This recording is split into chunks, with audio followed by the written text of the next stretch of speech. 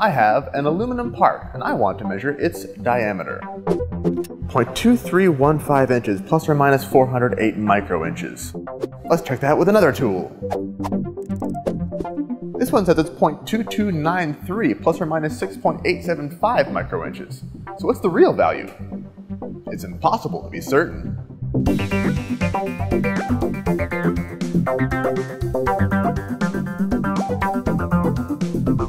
For every measurand, the quantity we intend to measure, there's technically a true exact value. If we're talking dimensional measurement, any physical object has an actual size. We're just trying to figure out what it is. The problem is that no measurement method can ever find the exact true value.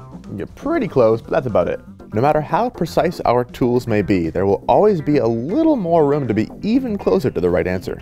Our goal is just to confidently get as close as possible. The gap between the true value of a dimension and the measured value we can obtain is the measurement uncertainty.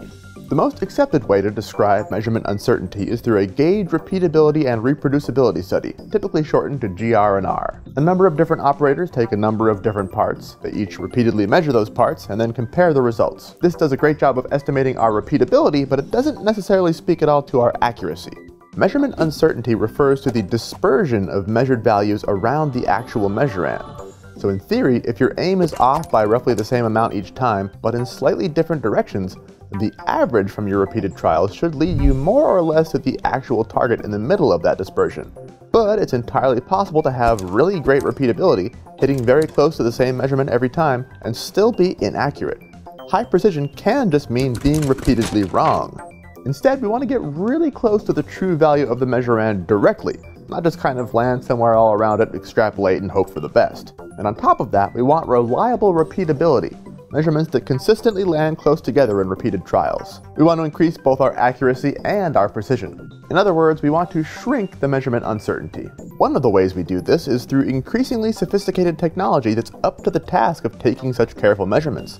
Generally speaking, the smaller the units an instrument can reliably measure, the smaller the amount it's likely to stray from the correct value, right? I mean, you wouldn't say that you can measure down to the micrometer if your measurement tool could be off by a whole dang millimeter, Good precision helps narrow the accuracy window. Another crucial way that we handle measurement uncertainty is, you guessed it, by following strict standards. Here on Metrology Matters, we can't overstate the importance of standards. The guidance from standards for managing uncertainty really help make things less uncertain. For example, the American Society of Mechanical Engineers created the B89.7 series of standards, six short documents addressing several important uncertainty considerations. These include measurement planning, estimating measurement uncertainty, building uncertainty statements, estimating measurement risk, decision rules for accepting and rejecting components, and traceability. These standards also address why any of this uncertainty happens in the first place. What causes us to stray from the measurand? Turns out basically everything.